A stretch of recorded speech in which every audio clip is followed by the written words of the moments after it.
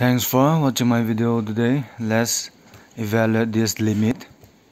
The limit n tends to infinity 1 plus x by n to the power n is e, e to the x.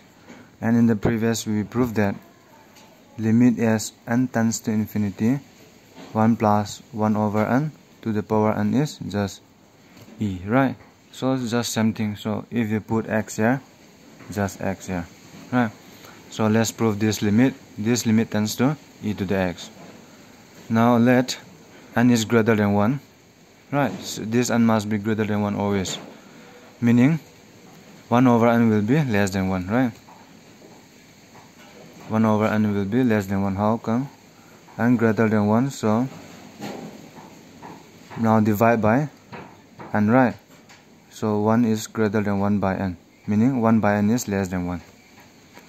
Right, so using binomial theorem, we have that by using my binomial theorem 1 plus x to the power n, which is we have proved early.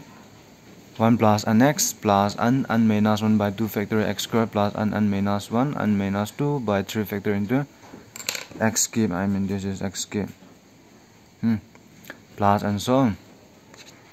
Now if you put so we want this one right?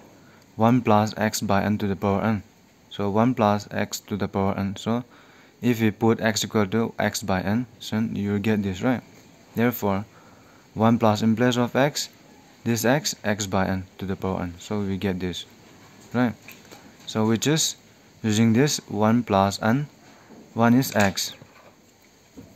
Here x we put here x by n right? x by n plus n n minus 1 by 2 factorial x is x by n whole square plus n n minus 1 minus 2 upon, upon 3 factorial and this x is x by n x by n to the power cube plus and so on. We'll go on. Right then. 1 plus x by n to the power n will be now this and n cancel out.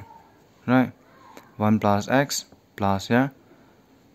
This n again and here. Let's take n common here. So n square. 1 minus if you take if you take this n here so if n and n will be n square. So since taking out in common so 1 minus 1 by n right?